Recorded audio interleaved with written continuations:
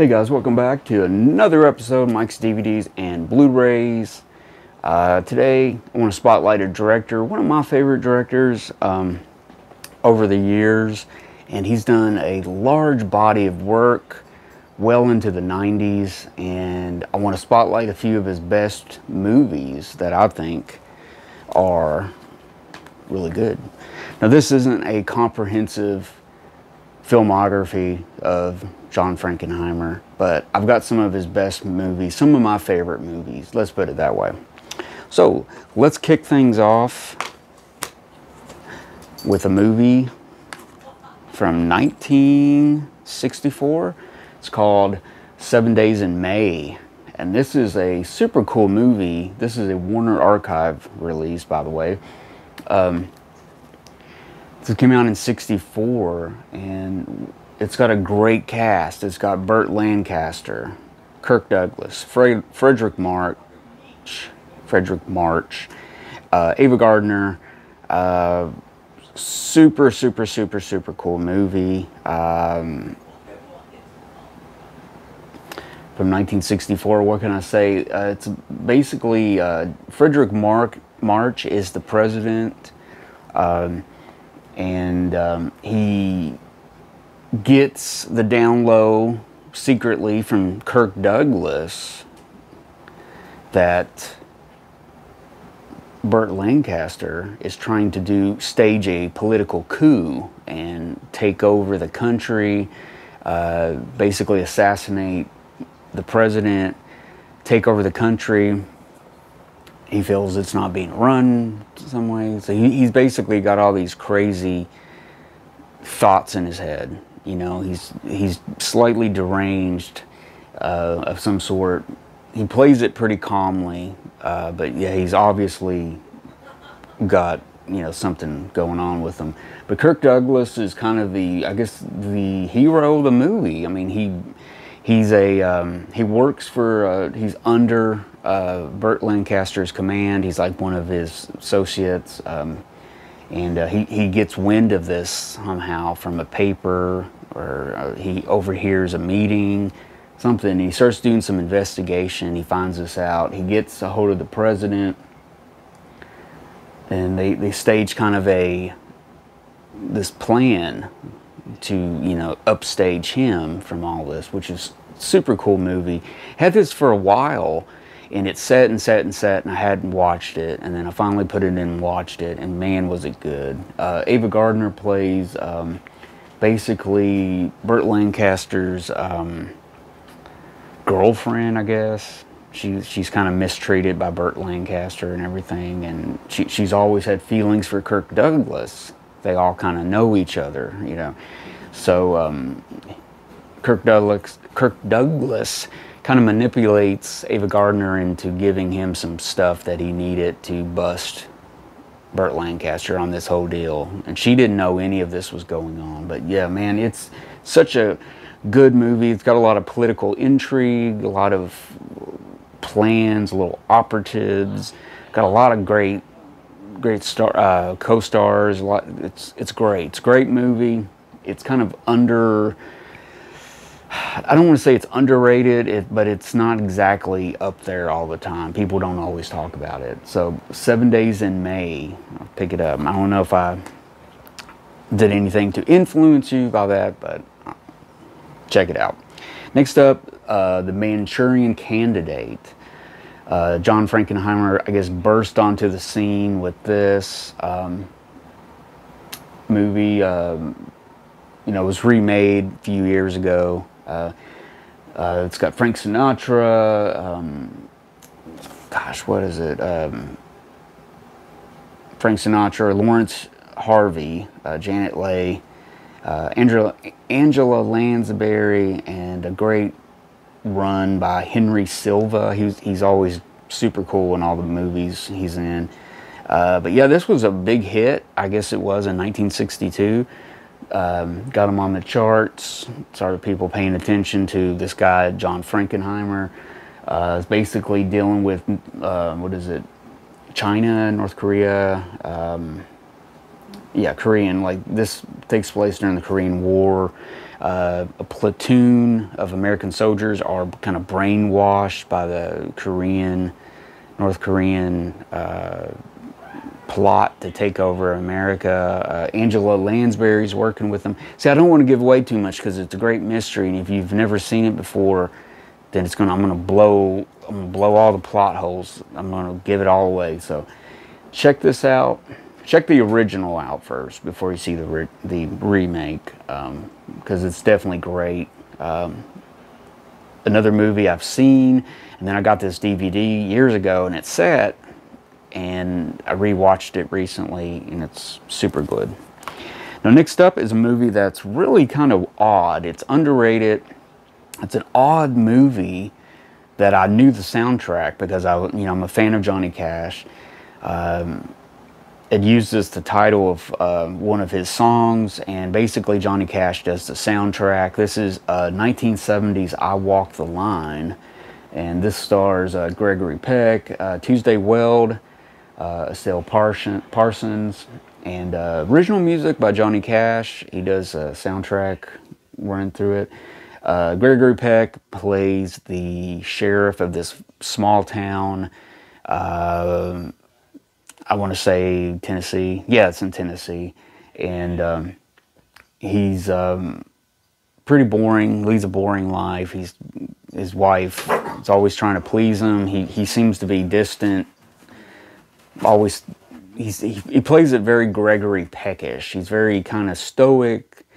Like he's always got something on his mind. He's kind of daydreaming. He leads such a boring life, and um, he runs across this girl, Tuesday Weld, and her brother um, when they, uh, the little boy, her, her little, Tuesday Weld's little brother is driving this truck. He basically, he's like eight and they're just having a rip roaring town time driving it. He gets off the road, wreck, um, wrecks, and uh, Gregory Peck, you know, pulls him over and finds what's going on. Um, he's immediately captivated by Tuesday Weld. They immediately have a a thing starts going on, or at least he thinks there's something going on.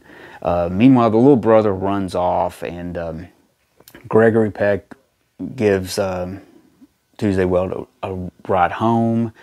Um, and little, little to his knowledge, um, her dad and brothers are running a moonshine operation. And down the picture, um, the FBI is coming into town to work with the sheriff's department to locate some moonshine setups and steals and bust these people and everything. Um, and he finds out that, you know, they're, this girl, he, he starts having an affair with Tuesday Weld. He, he's well aware of his her father's operation and just doesn't say anything about it. In fact, he he tries to protect them and uh, but his uh, deputy's really trying to get some acclaim with this FBI guy, so he, he's really catching on, watching Gregory Peck like he's up to something, and it, it's a great movie. Um, I had heard of it for years ago because of the soundtrack and everything, and didn't pay much attention. It's such an odd movie from 1970, and Gregory Peck. It doesn't seem like it would be a John Frankenheimer movie. It's very low key but a great story. It looks like it's a very small budget, just a good little movie, and um, highly recommended. Um, DVD, I believe, is the only way you can see it. I don't think it's on Blu-ray yet, but yeah, highly recommend that. Uh, I Walk the Line. Um, a lot of good stuff in it. I can't even get into telling you to sell this movie to you, but just on my recommendation, check it out. Super good. Uh, next up, we go to 1977 with Black Sunday. Uh, this is a movie with Robert Shaw, Bruce Dern, uh, Martha Keller. Martha Keller.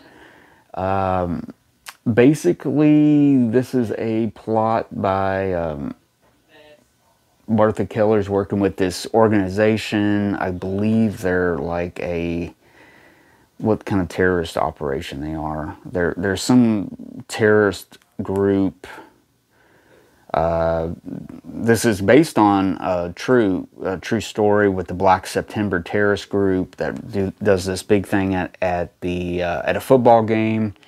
Um, Bruce Dern is this twisted guy from Vietnam. He's just he's lost his wife. He's just nuts. He he he turns in a great Bruce Dern performance.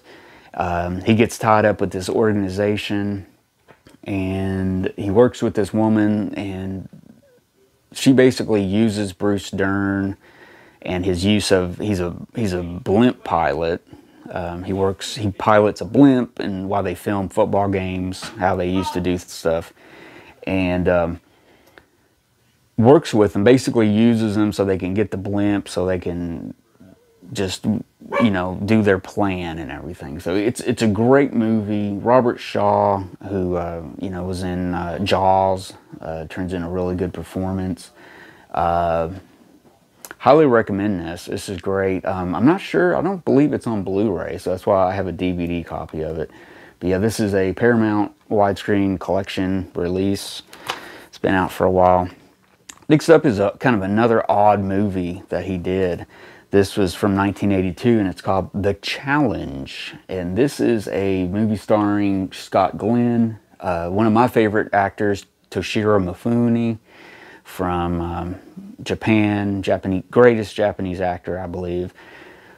Famous for all his work with Akira Kurosawa. Uh, he basically, uh, Scott Glenn is a student of the ninja arts and stuff, and he's you know he's he's uh, very skilled in the use of a sword, and um, somehow or another he um, he works with this uh, group. Um, Toshiro Toshiro Toshiro Mifune's brother runs this organization, and um, basically he's going to be took out. I'm trying to I'm trying to sum this up to where it makes sense, but um, it, it's basically a Japanese family feud uh, involving the ownership of an ancient sword that the brothers share that's been passed down for generations. Um, so somehow or another, they get Scott Glenn to assist uh, foiling the rich industrialist, industrialist brother.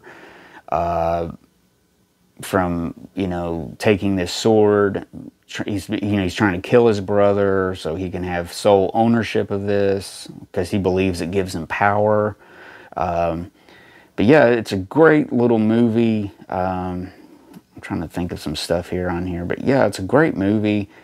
Um, and just thinking about this i have left out some cool John Frankenheimer movies, but I'll get to that in a minute. But yeah, this is a great offbeat movie. Uh, Scott Glenn as a ninja. I mean, come on.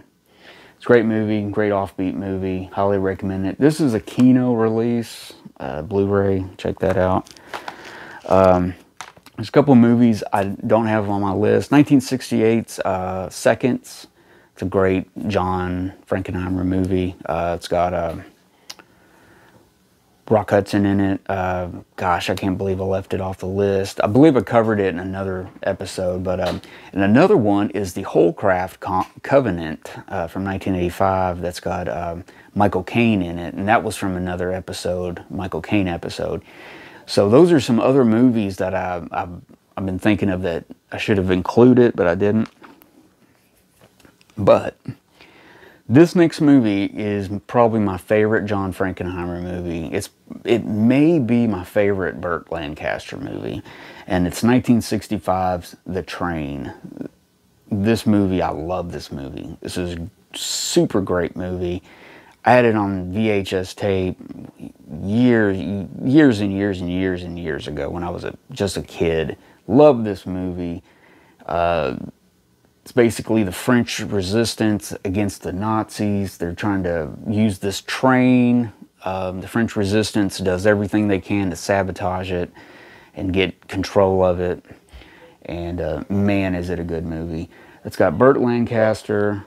It's got, uh, who's all in this? Oh, Jeanne Moreau is really good in this movie. Uh, I'm trying to think of the, the French actor that's really good. Uh, Michael Simon. It's really good in this. But yeah, this is a great, great, great, great movie. This is the Arrow Academy release that I have, but I believe it's on. It's been it's on different editions out there. But man, you got to get this movie. Out of all of these, this movie's so so good. It's one of my favorites. So I just wanted to make sure I got that in this episode. And finally, guys, uh, John Frankenheimer, uh, working well into the 90s. And here's another like like, wow, John Frankenheimer directed it, kind of, you know, you're kind of watching it. Because this was a big hit, I believe, or at least I thought it was a big hit when it came out in 1998, is uh, Ronin, which uh, stars uh, Robert De Niro and, I don't want to miss his name up, uh, Jean Reno.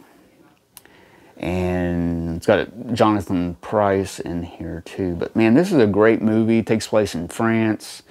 Um, there's like this, what is it? Um, there's like a mercenary situation. Uh, Robert De Niro's in this mercenary group, and they're uh, trying to do this mission to steal top a, a, top secret briefcase that turns into all this other stuff. It's a simple task. Soon, a simple task soon proves explosive as other underworld organizations vie for the same prize. So it's a super great modern day action classic. And um, when I when I saw this back in the 1998, I was like, wow, John Frankenheimer. You know, because you thought he was well past his days of directing in Hollywood, and he pops up out of nowhere and makes this great, great movie. And um, I believe maybe he did a few more movies, and that was it. Maybe two, and that was it. But so I would say this is his last great movie. Uh, super cool movie. Uh, if you love action, mercenary, uh, movies, James Bond, spy thriller type espionage movies. Um, definitely a good movie for you there. And uh, so, yeah, there's some John Frankenheimer movies for you guys. Uh, he's definitely a great director. Um, I'm going to continue finding his movies because there's still more movies that I don't have. But um, those are some of his great movies The Train, The Manchurian Candidate, um, what was the other one? Like Black Sunday. I mean, he's he's done a lot of great movies. So there you go, guys. Check him out, John Frankenheimer. Uh, check out his filmography, and um, there you go. So um, if you haven't subscribed to my channel, subscribe. Check out my other episodes I have. I have a bunch of episodes. Um, if you liked it, give me a thumbs up and comment comment, comment. I would love to hear some comments from you guys. And uh, until next time, I guess, be safe out there. Continue to be safe for the new year 2021. And uh, I will see you guys again in another episode. So be cool, guys.